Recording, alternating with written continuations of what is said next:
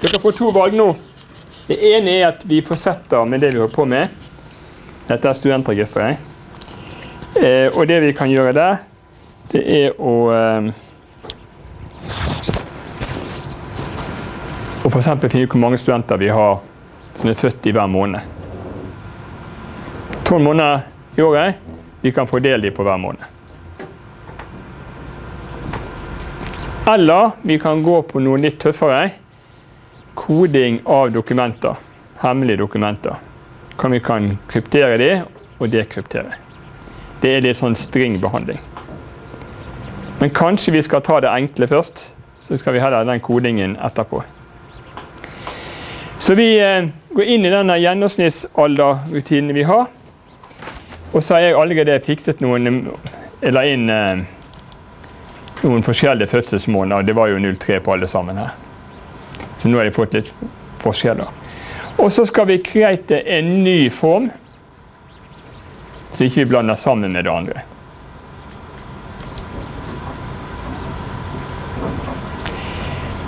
OK. Hva er jobben?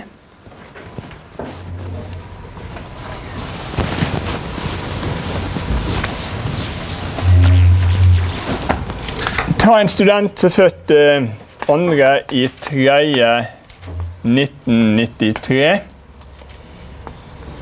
Da skal vi telle opp antall studenter i mars.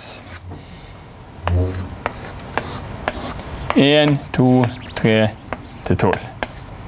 Så da blir det 0 pluss 1, 1. Neste student født 13. i 5. 1997. Glem årstallet. Vi skal oppdatere mai med 1. Studenten etterpå er født 22. i 3. 1989. Vi skal oppdatere den med 1, slik at det tallet nå bli 2. Når vi er ferdig, skal vi vite hvor mange som er født i hver måned. Det kunne hende det var interessant. for en annen grunn. Et lite problem vi har, det er hvordan skal vi presentere utdata? Vi kan lage tolv felt. Eller vi kan legge det i en fil.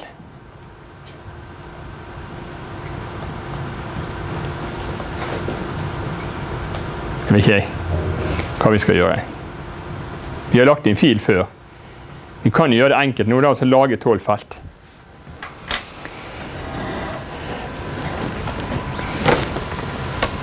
Og da har vi denne her.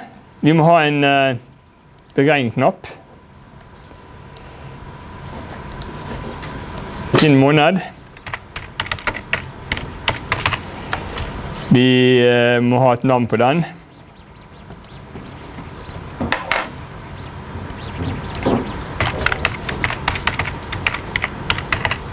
Store små bokstaver.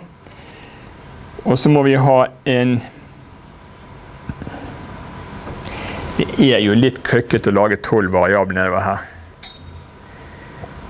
Vi lager en fil, vi. Vi går på create, lager en ny table. Og her er måned. Og det er en number. Og antall som er en number. Ja. Månedsoversikt.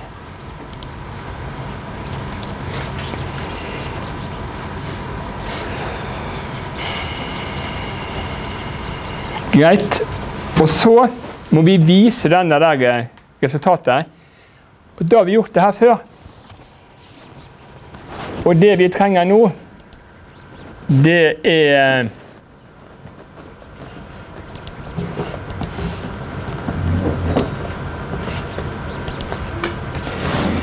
Det er en sånn subform.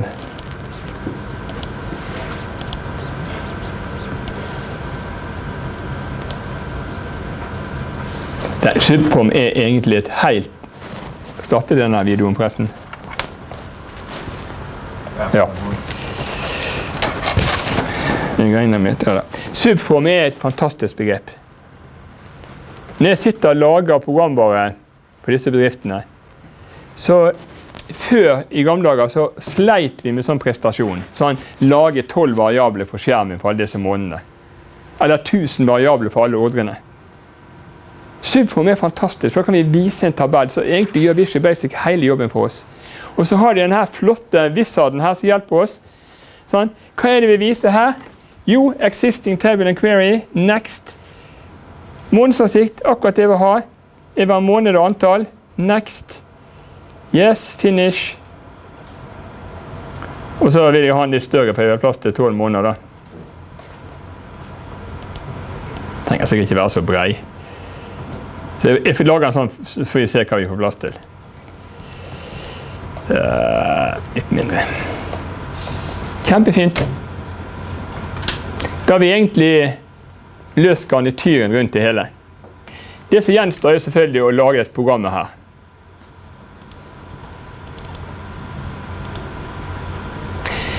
Ok, jeg vet at jeg skal lese studentregisteret. Så akkurat som i sted, så sier jeg dim standardsett s rekordsett. Dim string SQL string Jeg tror jeg satte inn en tabbe der. det skulle ikke jeg. Mm. Eh, og så sier jeg string SQL er select eh, fødselsdato from Jeg bruker store bokstaver på sånne SQL-ord. som select og from, bare for å gjøre det litt mer lesbart. Det er bare å gi en blaffen i det. Set standardsett lik current db dot open record set string SQL. Hvorfor gjør jeg det så fort? Jo, fordi vi gjorde det i sted. Vi gjort det 20 ganger før. Det samme dritten hver eneste bidige gang. Så her kan man sitte i gang og programmere uten å tenke. Til og med denne der, nå skal vi, vi, skal lese alle, så vi kan skrive do while not end of file. Og så slutter vi den med en loop. Og så vet vi at vi må ha move next, ellers går det til helvete. Og så vet vi at vi bør lukke datasettet der. Det er pent og pyntelig. And did. Det er nesten ståkarakter på det der. Og jeg har ikke tenkt ennå. Det her har jeg egentlig bare kopiert fra Hauge eller fra de andre øvingene eller de oppgavene vi har gjort. Det her er programmering uten å tenke. Men er selvfølgelig, hvis vi skal passere én, så må vi også løse denne oppgaven. Og hva skal vi gjøre nå? Jo, det står egentlig der. Hvis studenten er født i januar, skal du telle opp antall januar med 1. Hvis han er født i februar, så kan du telle opp februar med 1. Hvis jeg lager en variabel som heter januar, og sier if måned er 01, den januar ligger januar pluss 1, da ligger vippa mellom en C og en D.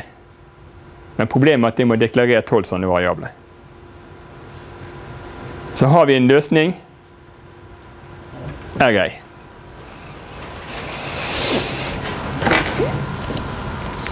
Dim antall per måned 1 to 12 S lang.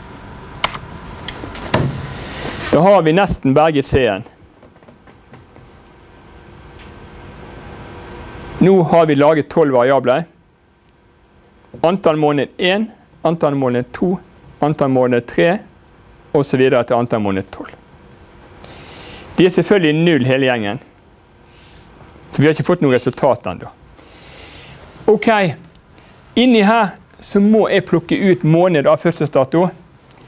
Og jeg lager variabel m som heter month, og den må jeg vite.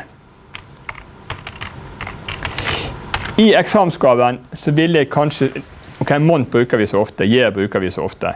Så det forventer dere kan kunne. Men hvis det er noe spesielt dere ikke kan, så kan jeg si dere kan plukke ut måned ved hjelp av denne funksjonen.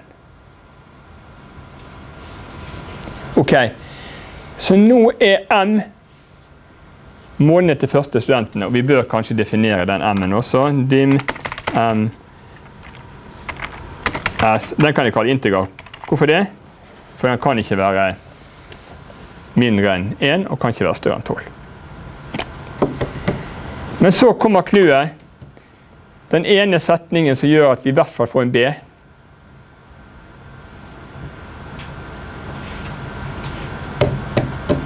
Hvordan skal jeg telle opp de variable her? Antall måneder M.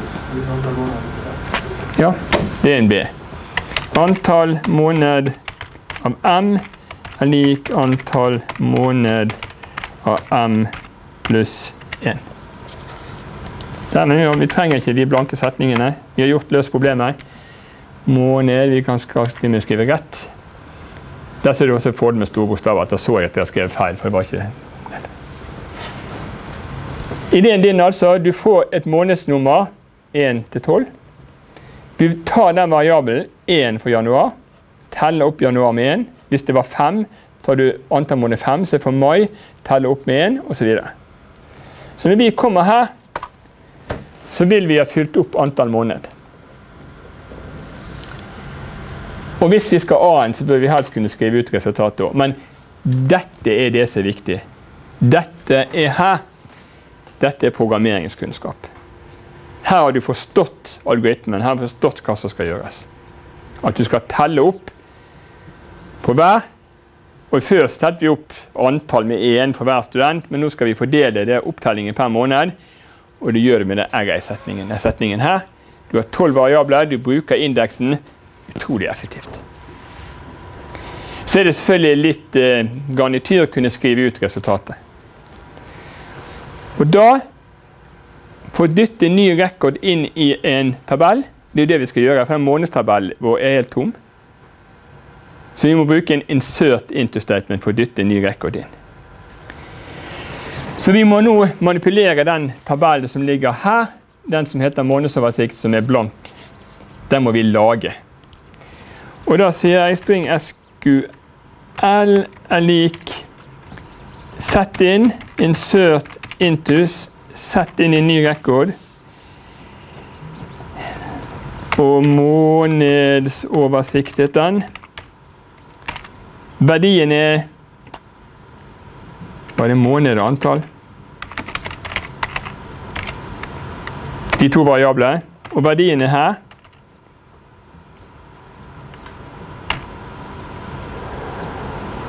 Det var og M og komma og antall måned av M. Så må vi ha en parentes på slutten.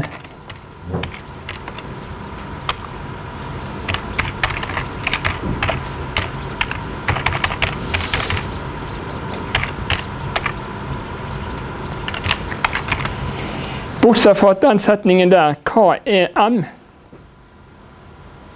Jo, M er den siste verdien jeg fikk derfra. Jeg må gjøre det her for alle måneder. Så jeg må lage en forutsetning. Og M lik 1 til 12. Innrykk, veldig viktig.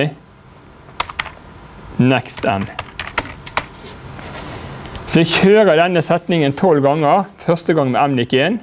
Hva skriver jeg? Jo, da er månedverdi 1. Antall av verdi antall i den måneden. Og så er det litt sånn Hvis jeg kjører programmet flere ganger, så bygger jeg opp en tabell så hver gang får tolv nye verdier. Vi må slette først.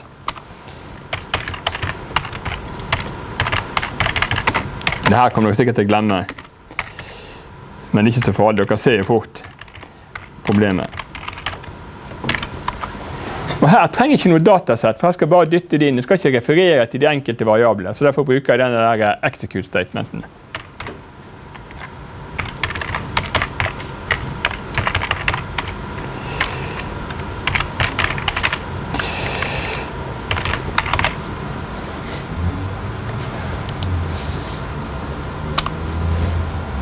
Skal vi kompilere?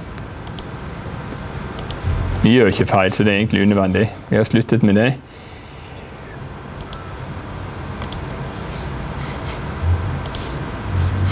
Skal vi kjøre? Ingenting skjedde. Eller vent litt. Hvis jeg ser på tabellen, så har jeg fått verdiene der. 1, 2, 3, 4, 5 til 12 måneder. Tre studenter 40. januar, 1 i februar, 5 i mars, 3 i april osv. Men hvor fikk ikke jeg svar her? Yes. Vi må oppdatere den her. Vi må fortelle VBA og Aksess du, vi har gjort noen endringer i denne her. Og hva het den? Da må jeg gå tilbake og se. Månedsoversikt subform.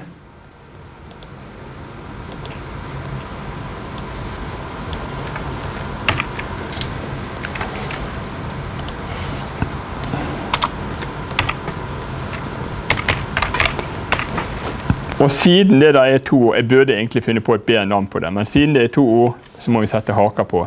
Ellers så går det i dass. Ok, Og så skriver jeg punktum. Yes, han fant den. Det er veldig fint, for da vet han vi er Requery. Forteller vi Aksess Du, Aksess, det skjedde noe med den tabellen. Oppdater det feltet. Ellers ville ikke Aksess vite det her. Så vi forteller Aksess det vi har lagt inn noe i tabellen. Den tabellen skal vise den subformen du må oppdatere. Det her er sånn så, altså, Dere har A på det her allerede. Kan be hvis dere får til den setningen der og den deklarasjonen. Dere har en A hvis dere gjør det her. Det her bare sikrer A-en litt. Det er ikke noen krise om dere glemmer det der på eksamen. Det er dill. Og du vil fort oppdage at det var feil i virkeligheten. Nå, vet du Kjør igjen på nytt igjen. Yes. Der ligger alt sammen der. Hvor flink vi er å lage lengden på den tabellen ned, ned dit. Så er det sånn rekordtull og sånne ting her nede. Jeg eh, liker ikke alltid det, så jeg pleier å fjerne det. Vi kan også diskutere om vi trenger scrollbarer på den vinduet her, for det tar litt til. Så vi går her, går på format, og så står det Record selectors no, navigation button no, dividing lines no. Og så var det scrollbar both ingen.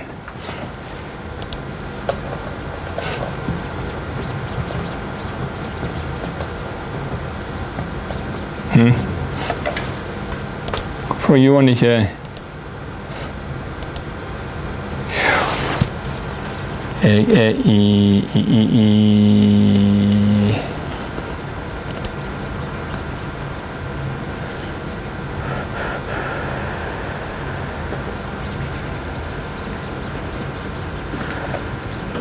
fikk ikke den til å virke? Skal vi søke om vi Å, er ikke seiven? Skal vi se, det her var månedsoversikt. Jeg kjører risky, da. Nei, jeg fikk ikke vekk de. Litt, skal vi se. Hvorfor får jeg ikke vekk de der? Design view. Å ja, vent litt. Det er det, det Nei, nettopp. Jeg går inn her. Det er denne skjemaet her vi må se på. Nå forstår jeg det. De velger å gjøre det sånn. Så går vi på view, design, og så må vi her skrive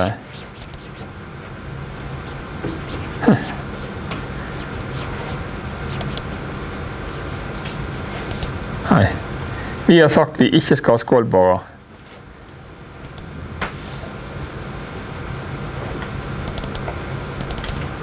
Da. Ja, vi får endre Han tok vekk de rekordslekt, men fortsatt får vi skålbarer. da. Det forstår ikke helt. Hvis ikke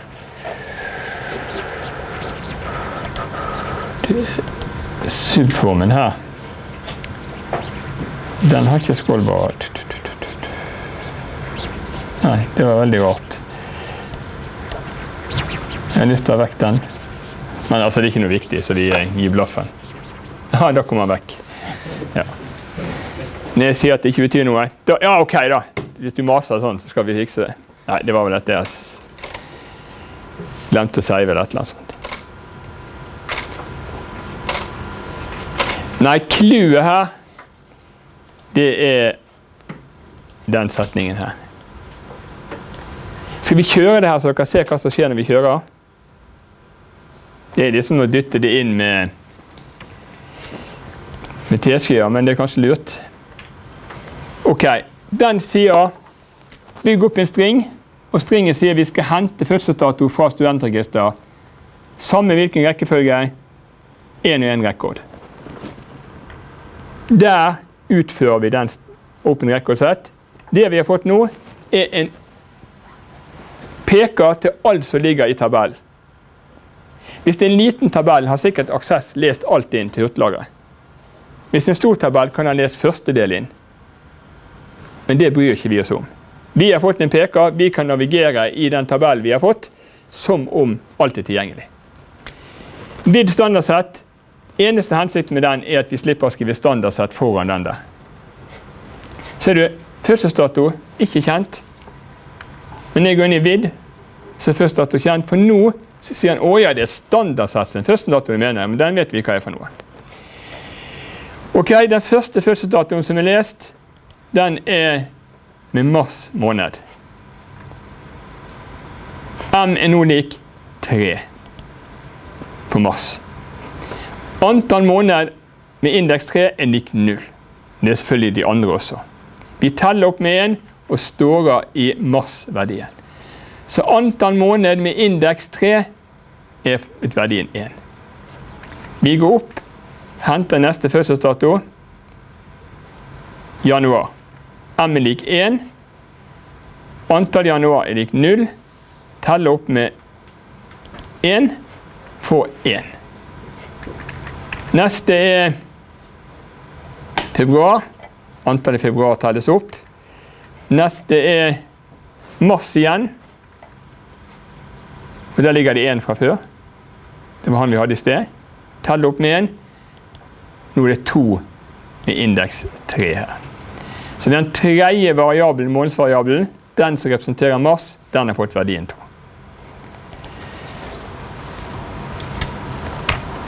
Så gjør vi gjennom den der like mange ganger som det er studenter. Og så kommer vi ut hit, og så sletter vi månedsoversikten vår. Her måtte jeg lage et standardsett fordi jeg skulle referere til de enkelte variablene. Her skal jeg bare kjøre en kommando til SQL. Du, ta den kommandoen her og utfør. Og da er det nok å ta den execute-kommandoen. Jeg kunne tatt et datasett og deletet alle rekord, men hvorfor all verden gjøre det på tungvint måte? Men jeg bare kan gjøre det sånn. Si til SQL bli kvitt alt som ligger i månedsavsikt. Så nå er den tom. Ok, Så går vi inn forsetning, og der var det slik at M-en lik 12. Ja, den verdien fikk han her i sted, en eller annen tilfeldig grunn. Men når vi gir, kjører den setningen, så første gang er m lik 1. Så har vi en ny sånn eh, SQL-setning. Vi skal dytte noe, en rekord inn i månedsoversikt. Og for å dytte en rekord inn i en tabell, så bruker vi en cert into. Så oppgir vi navnet på tabellen, parentes, de variablene vi ønsker å lage. Jeg kunne bare lagd måned eller det bare antall. Det er min sak. Men jeg vil ha begge to selvfølgelig her. Så jeg skal legge inn både måned og antall. Og de har jeg da definert her borte i den tabellen månedsoversikt, måned og antall. Er den tom? Ja, for vi har nettopp tømt den. Så det høres veldig fornuftig ut. Og det her du kan gå og se på tabellen din underveis mens du kjører, det forenkler ting. Hvis du får noe rot her, så kan du kjøre, se på databasen, kjøre og se på databasen. Så kan du hele tiden følge med at alt er greit. Det gjorde jeg før eh, i dag. Fordi at eh, på OSA så hadde de hatt noen problemer med, systemet sitt. Så det var en, en record som ikke lå der. Og Da legger jeg inn den i tabellen, og så sjekker jeg at den er der. Så hopper jeg frem og tilbake og så ser at alt blir i orden. Gjør det flere ganger, og så Ja, nå virker det. OK. Vi er tilbake i, eh, i koden vår her. Der. Så tabellen er tom. Og vi skal sette inn måned, og måned har første verdi her. 1. januar. Antall måned er lik 3. Det er tre studenter som 40. januar. Foreløpig har ikke vi gjort noe. Hvis vi går og ser på databasen på, på uh, månedsoversikt, så er det ingenting her. Hvorfor det? Jo, for vi har ikke gjort noe annet. Vi har bare laget en string.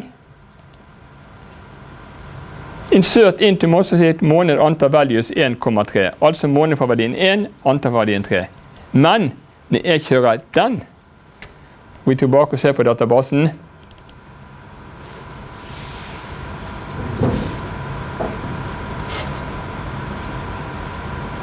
Jeg vet ikke, jeg må lukke den først.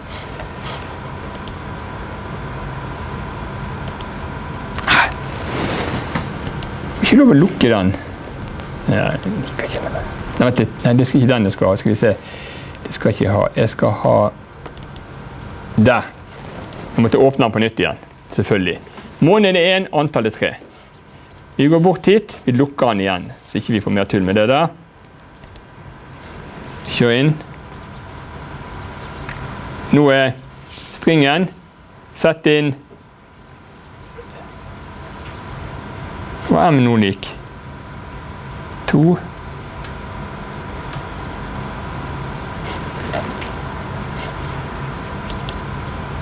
Ja, 2-1. Mm.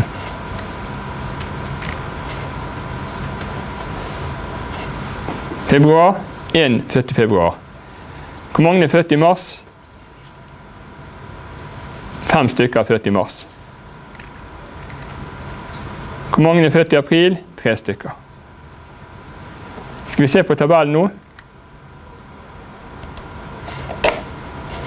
Her står 'deleted' fordi at det her er formen vår. Den ser sånn ut fordi vi slettet alt som var der. Men vi bruker den ikke se det her, fordi det går blunk, så er det her fylt opp igjen. Månedsoversikt. Yes, vi har lagt inn 1. Januar, februar, mars, april. Så vi er på god vei. Kjører vi ned til dit. Se på tabellen på nytt igjen. Jeg må lukke den, så må jeg åpne den på nytt igjen.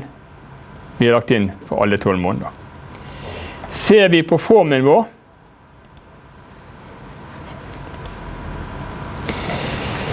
Ikke den, men på selve formen står det fortsatt deleted. Fordi vi ennå ikke har kjørt den viktige require-settingen som du, du kom med. Kjører vi den. Da har jeg fått. Så eh, Det er veldig mye som klipper inn standardting. Men det som er kunsten her, og som viser at altså Når dere forstår at dette er en oppgave der du skal bruke rei, så ser dere lyset i enden av tunnelen. At dette er en rei-oppgave. I stedet når vi pøste gjennom finne maks og så var det snakk om å gå gjennom og summere. Og Da er det den der loopen gjennom det hele som er viktig.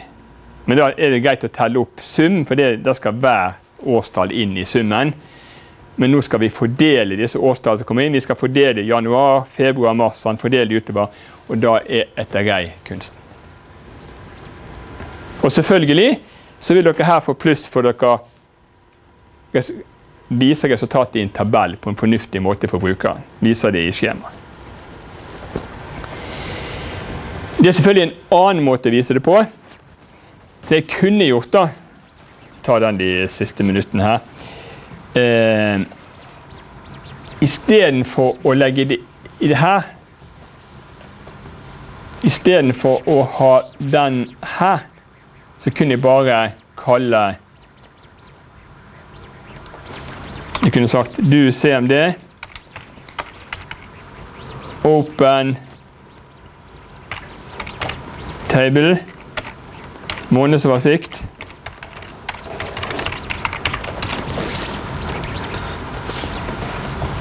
Og hva vil det da skje? Jo, det jeg da gjør, er at når vi kjører her, så åpner jeg tabellen. Og viser tabellen. Men det er en dårlig løsning, fordi at det er mye bedre enn andre løsninger vi valgte. Den løsningen her. Så jeg tar vekk den. Den der er mye lurere, fordi at nå kan du sette det her i kontekst. Sånn, ok, Her var ikke så mye konta, her skulle vi bare vise tabellen. Men vi kan jo eksempel se at du, du vet du kan trykke 'finn måned en gang til' og få et nytt resultat hvis det kommer en ny student inn. Du kan ha mer data her, du kan putte ut i skjema, du kan fortelle en kommentar til brukeren hva det her er for noe. og sånne ting. Så det å ha en sånn subform og vise tabellen i en subform, det er mye lurere. Jeg skal vise dere noen eksempler etter hvert hvordan vi gjør det her. Men på eksamen så jeg skal skrive med penn og papir, så er det bare å skrive og bruke subform Nei, du, altså da vil jeg Det du kan gjøre, du kan lage en skisse av brukergrensesnittet. Altså, hvis jeg skulle løst denne på eksamen Det kan hende at du ikke får spørsmål om brukergrensesnitt. For stort sett skal vi gå på koden, men for at jeg skal forstå koden, så er det greit at jeg vet hva slags opplegg dere har. Sånn. Og da kan du skrive brukergrensesnitt.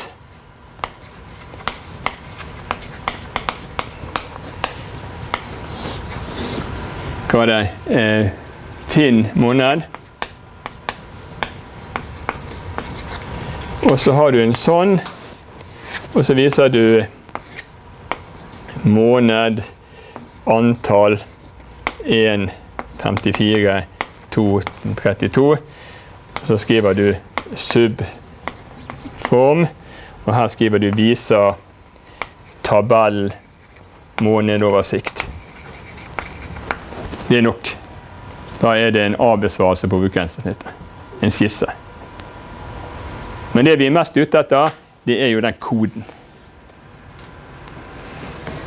Men det er litt poenget med kurset her at vi, vi setter koden inn i en sammenheng. Sånn, fordi at nesten alle program arbeider med noe data.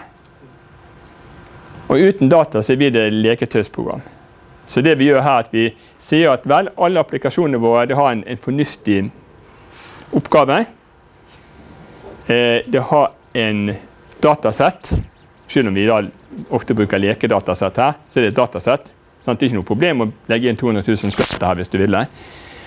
Og så har vi et brukergrensesnitt for det her. Så vi har fornuftig oppgave, vi har et brukergrensesnitt som løser brukerens problem, vi har de tabeller og data vi trenger bakom. Og så koden blir en del av en helhet. da. Det er poenget. Så det er klart at når vi har laget et program her, og vi har 24 studenter, men vi kunne ha 240 eller 24 000 eller 240 000, det ville virke likevel. Bare passe på at vi har deklarert de der variable så long og ikke som integer. og Da vil det gå i, på i overflow. Så dette programmet er jo brukbart inn i et studentregistersystem. Yes, da tror jeg vi gir oss med det. Og så vi, begynner vi på mandag. Og da tenkte jeg kanskje jeg skulle ta den kryptograferingsrutinen, og den skal jeg legge ut på nett. Slik at eh, dere har den. Det linker til den. Kryptering, det er den her. Og den skal jeg legge ut. Skal vi se, har vi Vent litt, jeg bruker litt tid til å si litt Ja, dere skal ikke få logo ennå. Jeg, si, jeg, kan si det her, så kan vi ta den på, på eh, Vi skal kode et dokument slik at det blir uleselig for de som ikke har koden. Vi har en fil der dokumentet er laget. Etter kryptering skal fil være uleselig. Men de som har koden, skal kunne dekode dokumentet.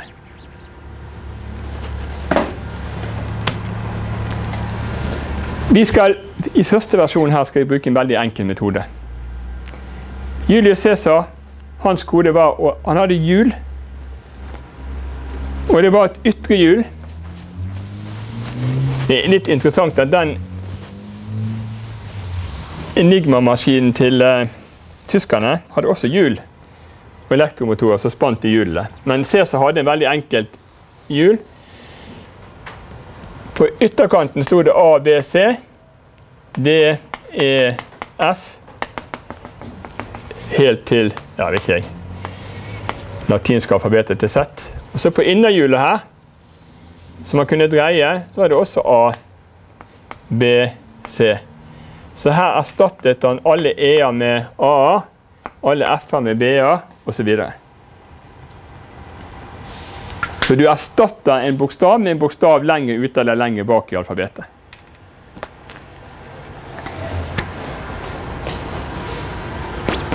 Og da vil den n antall plasser du dreide det hjulet, 1 til 29, blir kodenøkkelen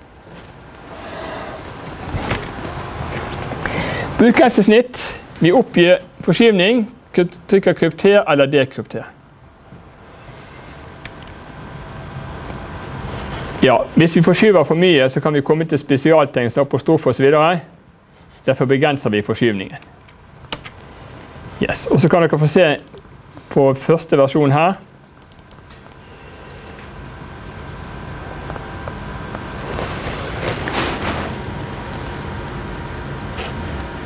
Her har vi et uh, Wikileaks-dokument. Hemmelig dokument. Men amerikanerne var jo så dumme at de lå de der i klartekst uten å ha kryptert de. Det var som gjorde muligheten for at han Manning klarte å så dumpe ned 700 000 av de her. Så nå eh, har vi solgt på avanserte krypteringsrutiner til eh, amerikanerne.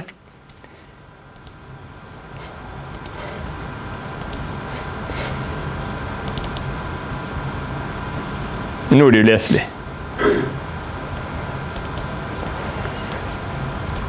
Det er ikke noe problem, vi kan dekryptere det. Nå er vi tilbake der vi var. Det er det er bare ett problem. At det er en skittig krypteringsrutine. For f.eks. én måte å dekryptere på, det er at du gjør en statistisk analyse. Hvis du vet at det er engelsk tekst, så vet du at eh, E er den bokstaven som forekommer oftest. La oss si at du har skrudd på hjulet, så E blir erstattet med en K. Hvis K-en er den bokstaven som forekommer oftest i dette krypterte dokumentet, så sier vi det er helt sikkert en E. Og så På den måten klarer du å dekode tilbake. Men eh, jeg er helt sikker på for veldig mange som dagligdagse formål så er det ingen som tror at du har valgt en så idiotisk og enkel krypteringsmetode sånn her, så vil det sikkert virke fint. Så alle skal forsøke å knekke koden. Hvis noen skal knekke koden, vil jo forsøke med alle de fornuftige krypteringsalgoritmene, sånn som RSA og andre, som da NSA og CIA og hele gjengen bruker. At de, holder på et år før de kommer på har han kanskje brukt den. Nei, det går ikke an at de har brukt den dumme metoden. Nei, altså de, de bruker analysemetoder for å finne tilbake til teksten. Det her skal vi programmere på mandag. Og der skal vi leve og fikse litt med tekster. Vi skal plukke ut tegn i tekster da, i stringer.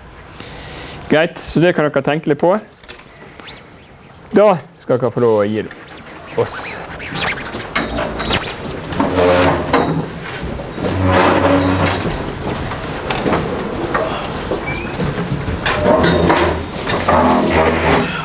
Og så skal jeg skru av kameraet.